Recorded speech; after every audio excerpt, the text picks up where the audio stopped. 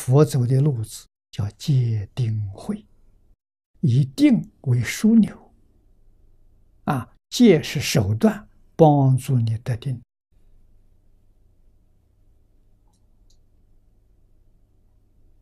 啊，如果持戒目的是在得定，这就是学佛。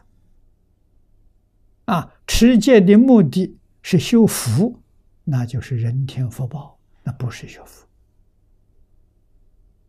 啊，断恶修善，持戒念佛，不求往生，来生是人天福报。啊，这个佛法跟世间法，我们一定要分清楚，要搞明白。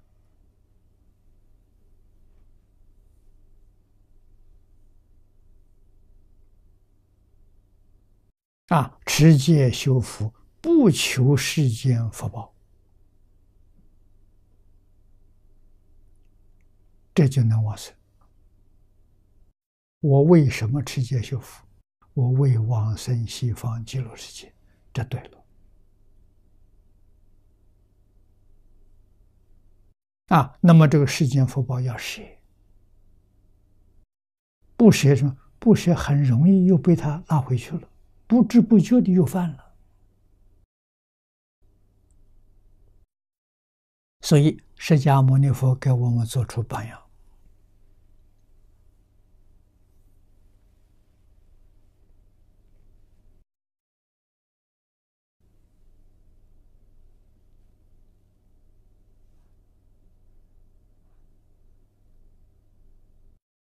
这个不能不知道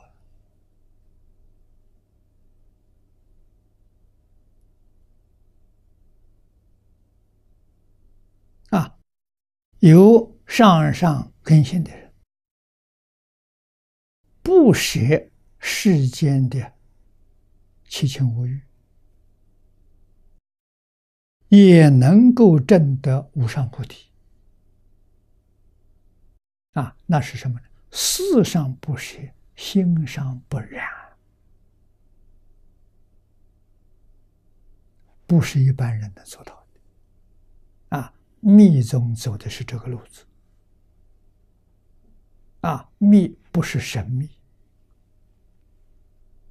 不是秘密，是深密，这个道理很深，不是一般人能了解的，是这个意思。神秘，佛法没有秘密，啊，秘密都不是好事，啊，不可告人的。佛法是公开的，是透明的，没有秘密。啊，这个道理也太深。